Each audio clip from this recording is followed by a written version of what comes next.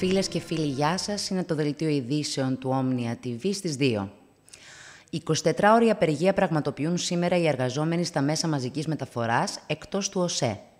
Λεωφορεία, τρόλεϊ, τραμ, μετρό και ηλεκτρικός παραμένουν ακινητοποιημένα, ενώ λειτουργεί ο προαστιακός. Οι εργαζόμενοι στα μέσα μαζικής μεταφοράς εξετάζουν επίσης την πρόταση να προχωρήσουν τις επόμενες ημέρες σε στάσεις εργασίας καθημερινά από τις 11 το πρωί ως τις 5 το απόγευμα επαόριστον. Κατάληψη πραγματοποιείται σήμερα από το πρωί στο Υπουργείο Παιδείας μετά από συνέλευση των εργαζομένων και παρακάμπτοντας τις αντιρρήσεις της συνδικαλιστικής ηγεσίας της Πάσκε. Οι εργαζόμενοι καλούν φοιτητές, μαθητές και γονείς να ενισχύσουν την κατάληψη. Το Σάββατο, 8 Οκτώβρη, στις 12 το μεσημέρι, ομάδα φασιστών της Χρυσής Αυγής, με ρόπαλα και κράνη, έκαναν πορεία στον κεντρικό δρόμο της Πετρούπολης και στην λαϊκή αγορά φωνάζοντας ρατσιστικά και φασιστικά συνθήματα και προπυλάκιζαν κόσμο της γειτονιάς που αντιδρούσε και τους έδιωχνε.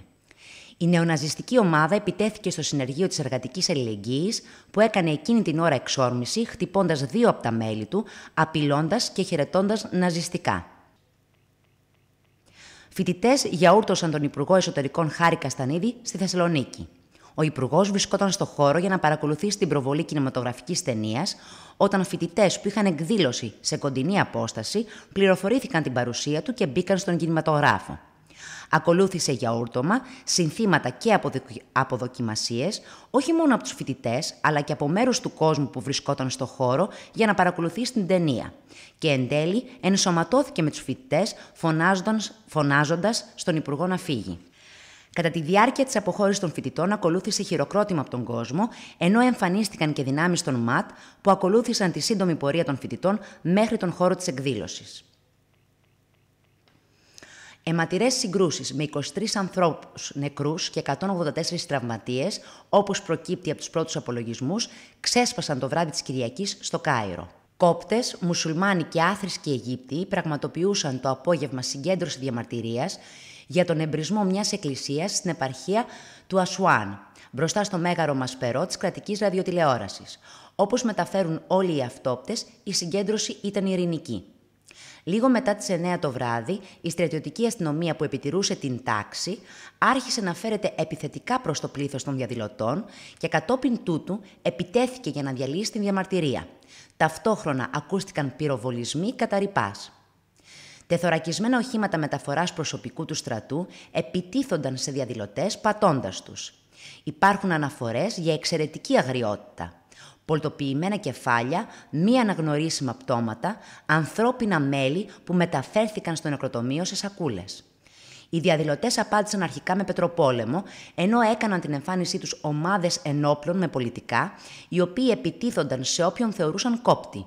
Η κρατική τηλεόραση της Αιγύπτου αναφερόταν συνεχώς σε νεκρούς στρατιώτες, ενώ παράλληλα καλούσε τους καλούς πολίτες να προστατεύσουν το στρατό επιδόθηκε δε σε όριο παραπληροφόρησης και προπαγάνδας, αναφερόμενοι συνεχώς σε χριστιανούς που επιτέθηκαν στο στρατό.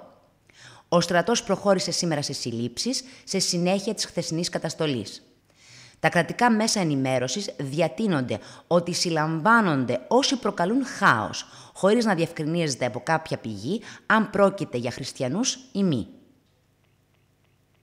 Την Κυριακή, δεκάδες ένοπλοι Ισραηλινοί έπικοι επιτέθηκαν σε περίπου 50 Παλαιστινίους αγρότες που προσπαθούσαν να προχωρήσουν στη συγκομιδή ελιάς από την παραγωγή τους στην πόλη Ναμπλούς, στη βορειοδυτική δυτική όχθη.